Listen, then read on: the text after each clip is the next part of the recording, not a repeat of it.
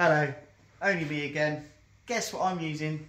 I'm using Odie's oil, Mr. Cornwall's Oddities, Oddities oil, whatever you want to call it. It's the go-to stuff for your finish. Comes in a little jar, little jar goes a long way. Give it a stir. This is fantastic English spalted beech. Put it on your applicator. You want to see what Odie's oil does to this spalted beech. Are you ready? It's the fastest finish oil in the market. This is going from the workshop straight to a pub. This is shelving for a pub. Look at it, pop, pop, pop. It's absolutely fantastic.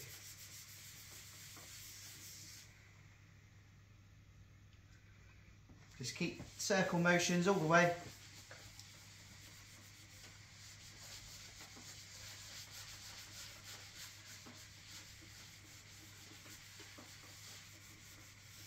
A little bit of oil goes a long, long way. Don't forget to do all your edges.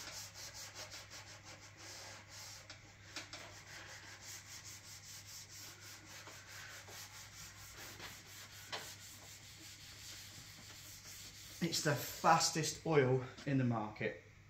It's so warm in the workshop, this will be dry in less than 10 minutes. And this will be going straight to the pub on the way home for a cheeky pint.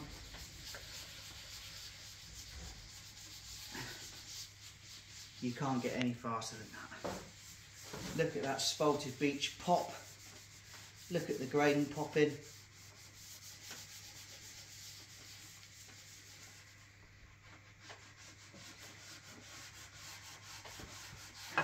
It's absolutely fantastic oil.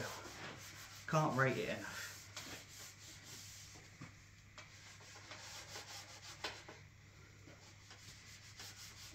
And as you can see, two or three scoops has done a 1200 long shelf.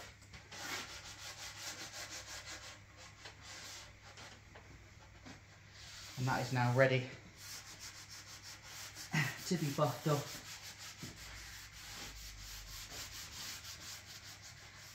I can't go any faster than that. I'm flat out at the moment. And that keeps up with me. There you go guys, Odie's oil, Mr Cornwall's oil. It's the best, fastest finish oil on the market. Slower you go, faster you go. Thanks for watching. Look at my other videos. I'll do a finished piece. Watch out for the pictures.